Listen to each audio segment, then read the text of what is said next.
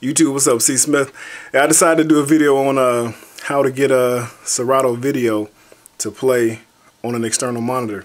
I decided to do it because um, I did the little, uh, you know, video on Serato Video, but that was just to play it, you know, within the system. I didn't actually uh, connect it to an external monitor.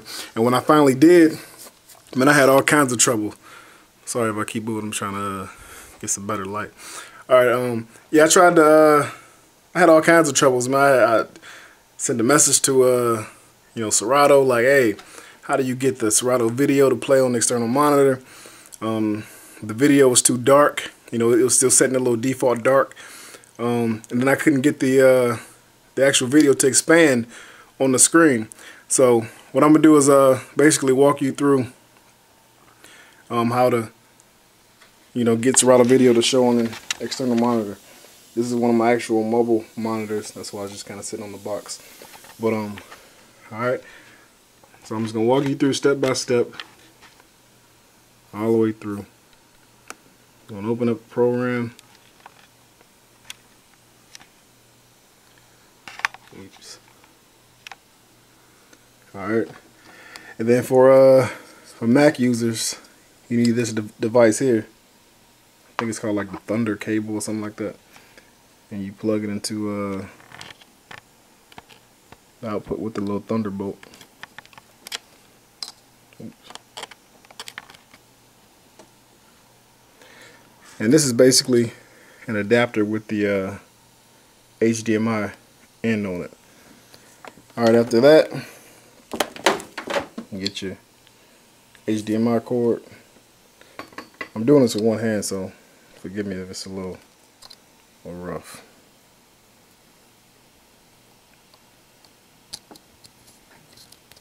Alright, connect there, and then you run that from here to your monitor.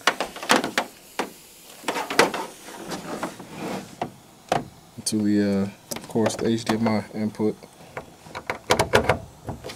Alright, let's turn the, uh, the monitor on. Can't see it, but oh well. Alright, it's on. It should read the computer and then jump to its default background. Alright, there it is. And now,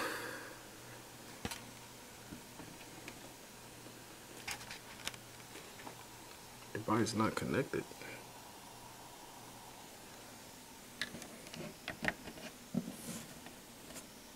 Device is connected. As you can see. And you gotta love technology. So I'm not even gonna pause or edit this video. I'm gonna have y'all run right through this with me. Okay. Had to work with the plug a little bit. Alright, so uh, from there we click on video. We want to go to Serato video. Now, Get my videos here. Alright, we're gonna load the video on uh, deck one. Okay, now you see this little uh, option here that says link. Basically, yours is to be set at the default setting of about right there. Now when you play the video, you notice the, the difference? The uh, the video showing you know within the system is all super bright but the one that's going to show on the external monitor is dark. And I couldn't figure out for the life of me how to get this video to look like this video. So after messing with a bunch of stuff figured out that this button here I mean this uh, option here once you, you the higher you slide it the lighter the video gets. As you can see, the lower it is, the darker, the higher, the lighter. Okay, so now that's set. You know, you got the, the brightness that you want. And you want to... Uh,